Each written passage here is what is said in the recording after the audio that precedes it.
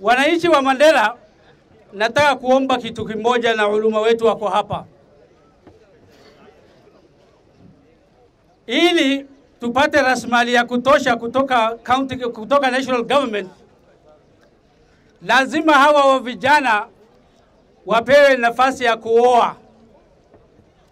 Hivi sasa vile tunazungumza, wa vijana wameshinda kuoa wasichana kwa sababu umeweka dawari yenu juu sana.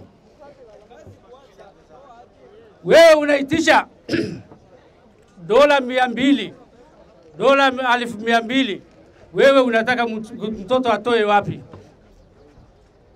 Sisi tunataka uluma waketi chini pamoja na kina mama wetu pamoja na sisi tuhakikishe ya kwamba mambo ya mahari inawekwa chini kabisa, isizidi shilingi elfu ishirini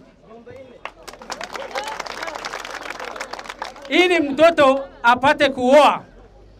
Tunataka census ijayo, we want to be the second largest tribe in this country, na hatuwezi kufanya hivyo bila kuwezesha hawa vijana waoe.